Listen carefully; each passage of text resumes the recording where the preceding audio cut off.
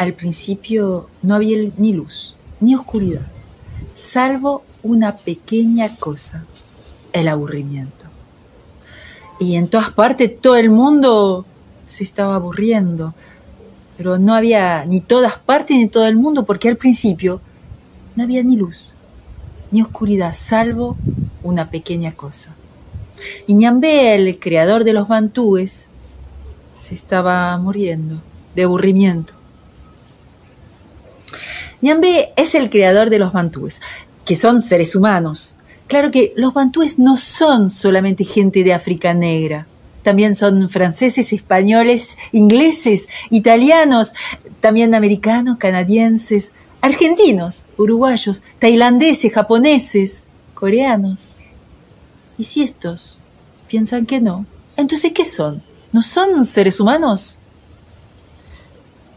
Los bantúes de África Negra, ellos dicen que somos la misma comunidad y siempre nos esperan con los brazos abiertos. Sí, pero Ñambé se estaba muriendo de aburrimiento.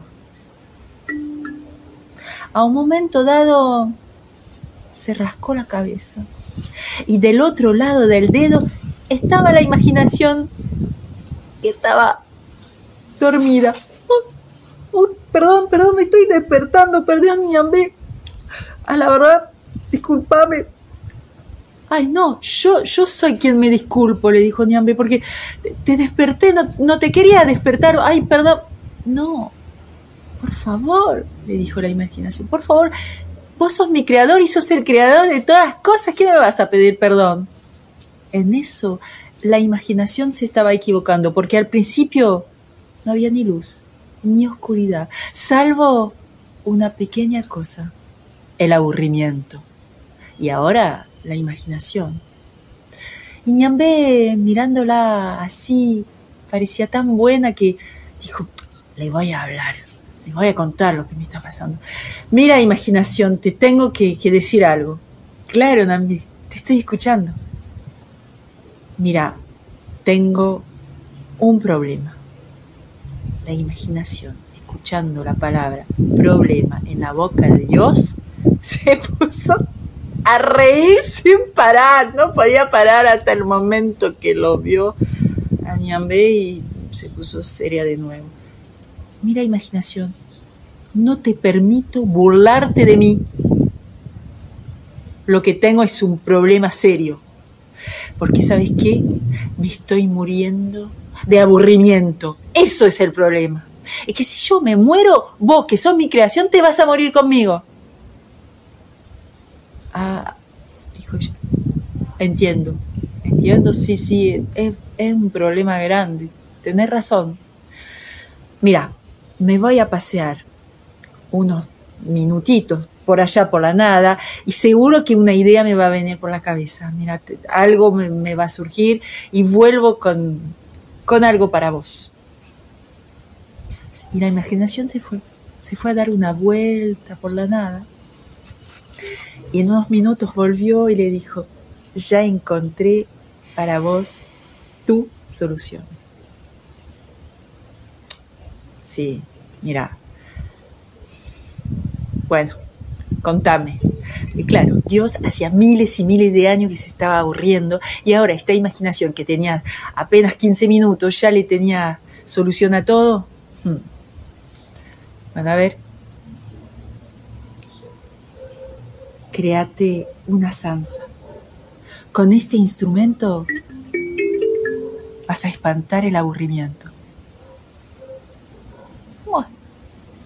Y Dios creó una sansa. Y se puso a tocar, y se puso a bailar y a tocar y a bailar porque él era muy alegre. Y cuando tocó la primera nota, creó el sol. La segunda, la luna. Y ambos se quedaron agarrados del cielo. Después una tercera nota y fue el primer pueblo.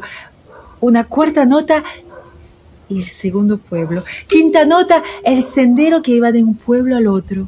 Y después las ciudades. Y después los montes, los ríos, los árboles, los animales, los países, los continentes y su primera nota en farso. Claro, porque Añambé era la primera vez que tocaba este instrumento, no sabía tocar muy bien.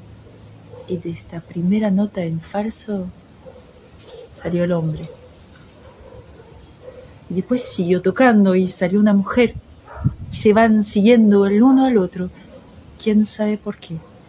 Y después siguió tocando y salieron una cantidad impresionantes de niños y niñas de todos los colores, blancos, negros, rosa, amarillo, rojo como ahora, y también había naranja, verde, verde pino, verde agua, turquesa, azul Francia, violeta, todo tipo de colores, y salían de la sansa, sin discriminación, sin distinción, sin diferencia, y fueron poblando el mundo sin distinción, sin discriminación.